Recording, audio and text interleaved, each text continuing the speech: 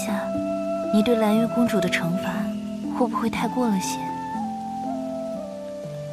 思儿是装傻，还是真猜不出来？君心难测，我哪里猜得出来？只是觉得皇上会不会太狠心了，把如花似玉的和亲公主贬为奴隶，还扬言要踏平她的家乡。没有将他们千刀万剐，都算是便宜他们了。十几年前，如果朕没有带你来武朝，那现在蓝月就是你的故乡。是啊，可是你不是把我拐过来了吗？死而又取笑我。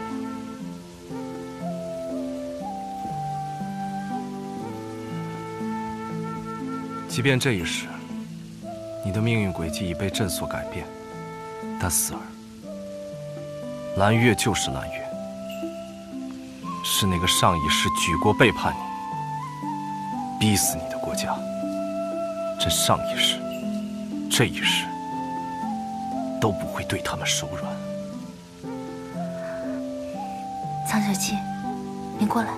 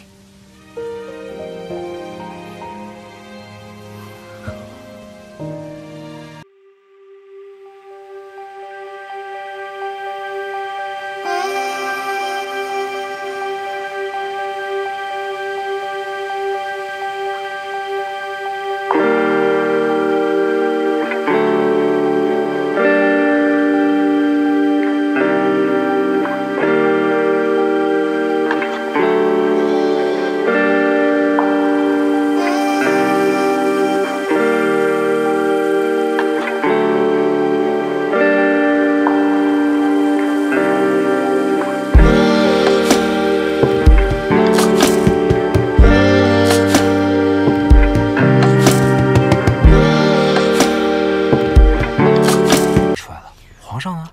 皇上还在睡着，这段时间他都没有好好休息，不要让人打扰他。哎，南大人，您这是去哪儿啊？今天可是您的封妃大典啊！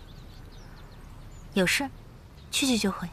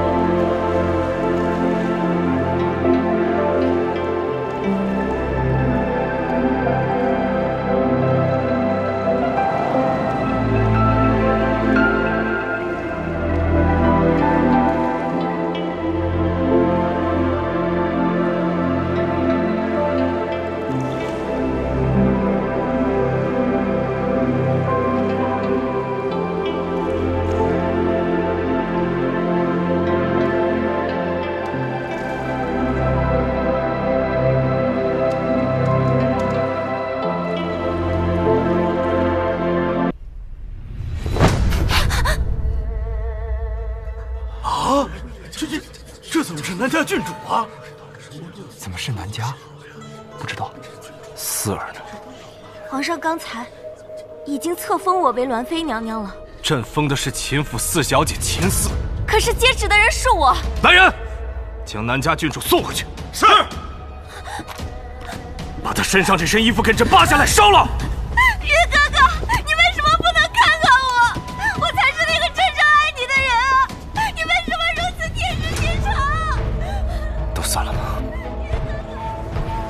臣告退。臣告退。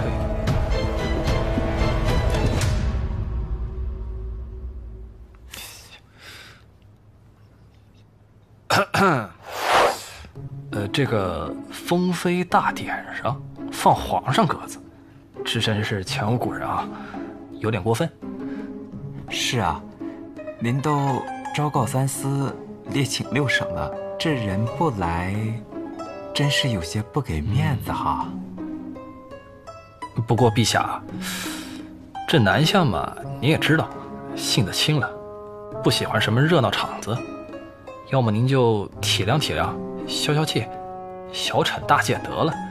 小惩大戒？你们两个蠢货在说什么？朕拉你们干嘛来了？